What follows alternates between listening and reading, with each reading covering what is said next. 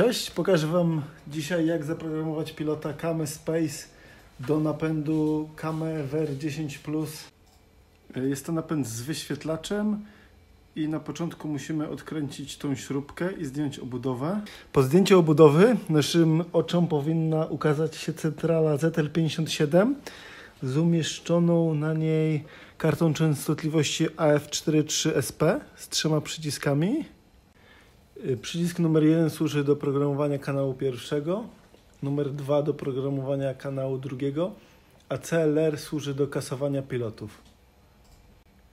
Aby zaprogramować pilota naciskamy przycisk numer jeden na około 2 sekundy, aż dioda zacznie migać i teraz przycisk na pilocie naciskamy raz i drugi raz i pilot został zaprogramowany.